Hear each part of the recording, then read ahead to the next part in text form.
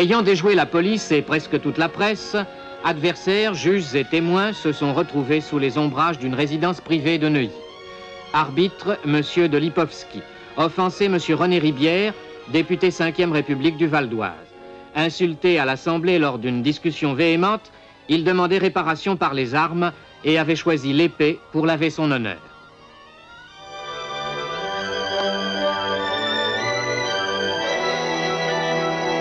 Offenseur, M. Gaston Defer, député maire de Marseille, socialiste. Les témoins des deux adversaires s'étaient mis d'accord sur un duel au premier sang.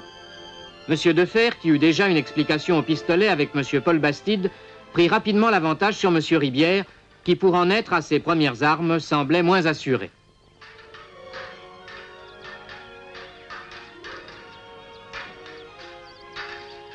Liant le fer, marchant, poussant sa botte, enfin, M. Defer touchait son adversaire à l'avant-bras.